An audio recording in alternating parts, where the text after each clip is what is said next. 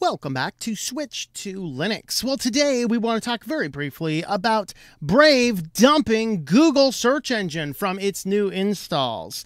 Now, as far as this concern is concerned, if you update Brave, if you have set a search engine that was not the default, it will retain whatever your setting is. But for anybody newly installing the Brave browser, you will now have Brave Search as the default. So before we dive into the actual release of this, let me go ahead and start by this. Why don't I not talk about Brave a lot? Well, Brave is an interesting, uh, an interesting, we'll call it an anomaly. I'm not sure that's the best word here. I'm not a huge fan of Brave as the company. It is created by a lot of people with deep fingers in pockets in the big tech and Silicon Valley, indicating that they may or may not actually be operating in the same way, maybe secretly in the background.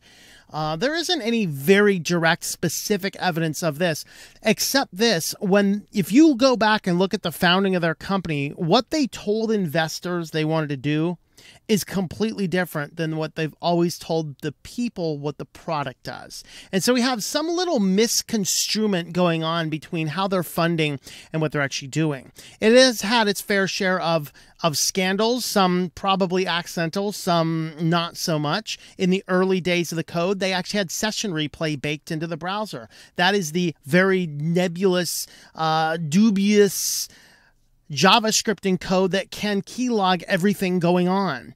I rose attention to this. This is going back four years or so, and all of a sudden, all of the references to all that vanished. It was there for a while. You might be able to find that if you dig through archives enough. All of that stuff was cleared away a little bit.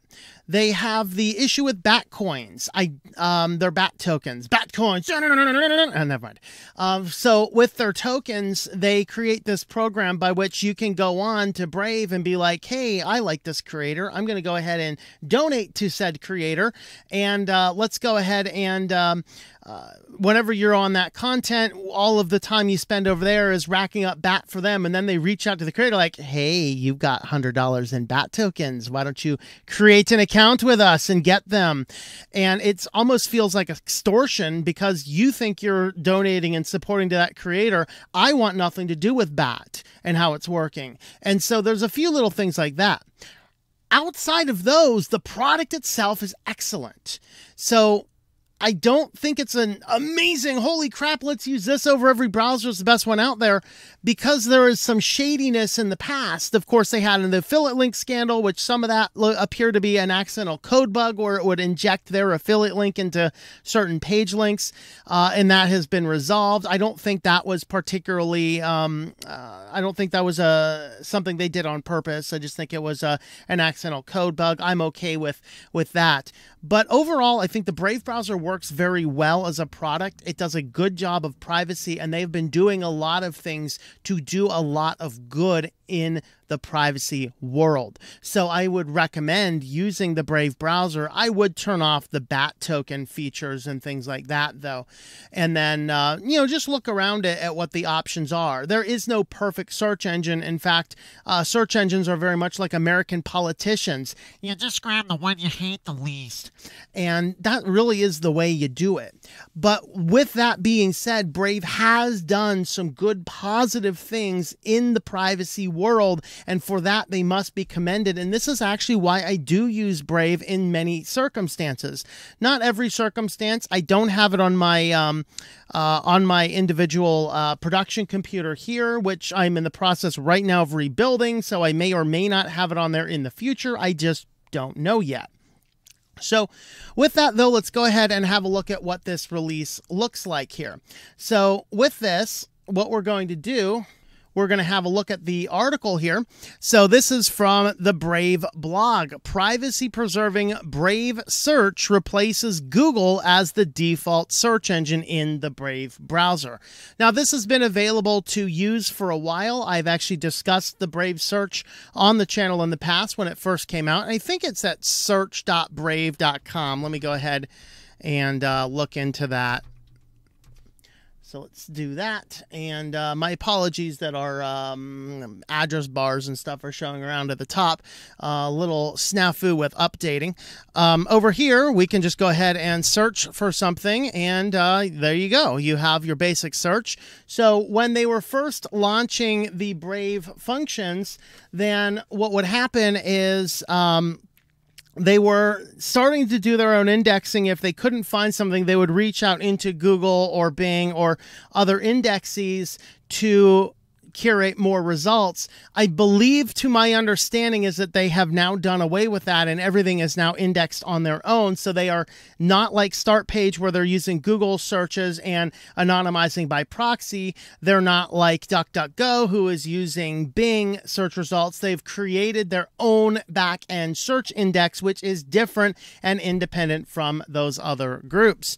So they say starting today, new Brave users will have the search functionality in the Brave browser browser powered by Brave Search, giving them privacy and independence of a search browser alternative to big tech, being Bing or Google or Yahoo or things like that. Brave Search is built on top of an independent index and doesn't track users, their searches, or their clicks. Privacy preserving Brave Search now replaces Google as the default search engine used in the address bar for new Brave users in the United States, Canada, and the United Kingdom.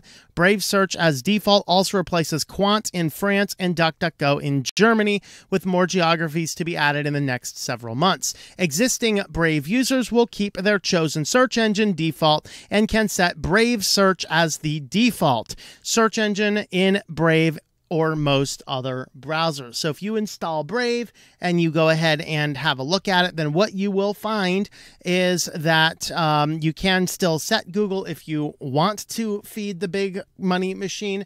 You can set Start Page, you can set DuckDuckGo or Brave Browser. Uh, Brave Search, excuse me, is now uh, an option. And it's really good to have alternative options even in the privacy send. Now, where some people might find some controversy is down here. It is currently not displaying ads, but the free version of Brave Search will soon be ad supported. Brave Search will also offer an ad free premium version in the near future. So if you would like to create an account to get an ad free experience in the near future, you have that.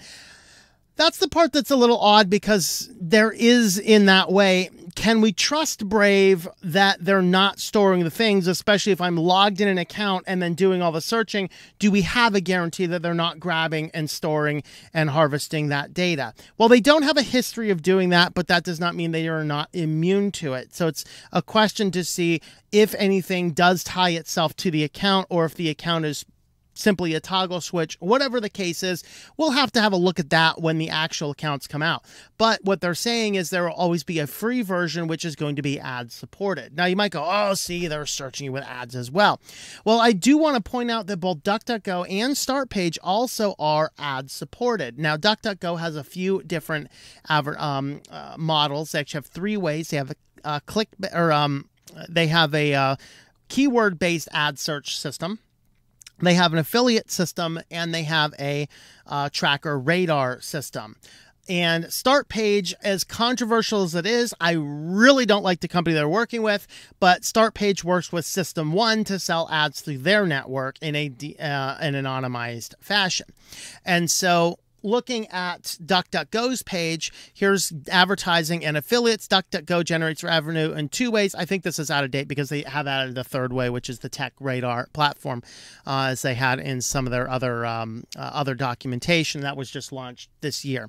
So advertising and affiliate revenue. We're not going to focus on affiliate revenue here, but advertising. It is a myth that search engines need to track you to make money on web search. When you type in a search, we can show you an ad just based on the search term, for example, or if you type in car, we show a car ad. That doesn't involve tracking because it's based on keyword and not the person. I will point out that on the Switch to Linux website right now, I do have Google Ads on there. When I launch the newer version of site, I don't know if I'm going to do that. I just haven't made a final decision. But the way I have the ads push on that site, they are explicitly set to be content based only, not based on personalization. It is an option you have in an AdSense that dashboard. And um, so it's there, and it's something I'm probably just going to drop ads entirely on there and see if I can't just push the Patreon and and uh, subscribe star uh, options instead. So those are are certainly uh, the the things that I'm looking into, especially since in several years I've never actually accumulated enough money in ads to actually receive a payout. Although I've gotten perilously close, I'm surprised I'm not there.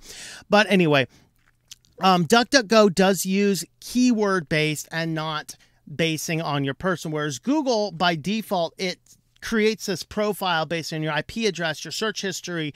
If you're logged in to Google, it will use all of this information. It will serve up ads that it, it thinks you want, personalized ads, as it were, what I completely stand against.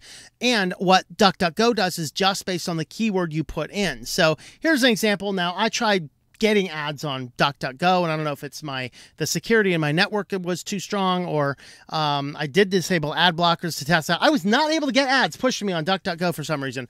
But anyway, in theory, according to DuckDuckGo, they do have the ads up there, so that is certainly an option that they have. And then uh, there's advertising and things like that. Uh, Start Page actually had a, a, decent blog. This is February uh, 24th, 2020, talking about advertising that respects privacy. Now, again, I'm going to state here uh, for a completion WaterFox, um, which I'm currently displaying to you right here because Due to an update, Firefox will no longer display in OBS. It appears to be a common bug. Uh, I'll be looking at that, or if anybody knows how to fix that quickly, let me know down in the comments. Uh, but uh, I'll figure that out later, or I don't know because I'm in the middle of rebuilding the computer. I'll sort it all out later. Um, but anyway, uh, that being said, um, WaterFox is compromised. Don't use WaterFox anymore. WaterFox is officially owned by System One. System One has a privacy policy that is worse than Google and Microsoft combined. They actually use language in System One's privacy policy saying, we will supplement your profile with things we buy from other companies. That is the company that now owns WaterFox. Now, that company has made an investment in StartPage. In my opinion, StartPage should have told them no because those policies and those terms are completely antithetical to StartPage's views. And because of that, StartPage should have said no because it's too controversial. But that being said, System One does not own StartPage nor does System One have access to start page data. This is something I have verified with the company. Okay. And what they do is their investment means that Start Page can get funds which will help them keep their servers up. And in exchange, the ads that you see on Start Page search results, these are bought from the System 1 network. And so System 1 and Start Page share the ad revenue that you get when searches are done. But again, System 1 does not have any access to Start Page. In my opinion, Start Page should dump the relationship though because of the terms, uh, the, the uh, statements written in System 1's privacy policy being antithetical to Start Page's philosophies. Uh, but that being said, what I wanted to point out here is that yes, you can actually have ads which is not not tracking you. And that's exactly what Start Page does, where they are taking the search you're doing, they're stripping all data, IP address, any search history, anything, feeding that into Google via proxy, and then getting keyword based ads returned back to you and that is the same thing effectively that Brave Browser is doing, although Brave Browser does not have as much technical detail as Start Page has as far as how each data point is made. I have not seen that from Brave. I have seen that from Start Page. So, which one of the two might I trust? Uh, I don't know. Uh, DuckDuckGo has its own problems. Of course, their entire infrastructure is on AWS, which raises a, uh, issues. Whereas StartPage has independent servers in privacy respecting countries, and nobody can gain access to those except a few key start page employees. Uh, Brave, I don't know where their data is being hosted, who has access to it, and things like that. So these are all things and factors to consider. But if you are looking for a privacy based search engine, I would look to Brave, I would look to Startpage, and I would look to DuckDuckGo. Those three will get you good privacy orientated search results, and you can actually set Brave search in Firefox, in Chrome, in Chromium, in these other web browsers if you would like to do that. It is now an option to do. So, with that, I just wanted to point out here that Brave is dumping Google as the default search engine in United States, Canada, and the United Kingdom, and it is using its own search engine instead. Let me know your thoughts on that in the comments down below. Thank you for watching this video from Switched to Linux. This channel would not be possible without the backing of the program supporters scrolling on the screen now. You can be a supporter at Patreon at patreon.com slash T-O-M-M or at thinklifemedia.com. I also want to thank the open source community who creates such excellent software that makes producing this show possible. Please remember to support your software communities. Thank you, and I hope that you enjoy switching to Linux.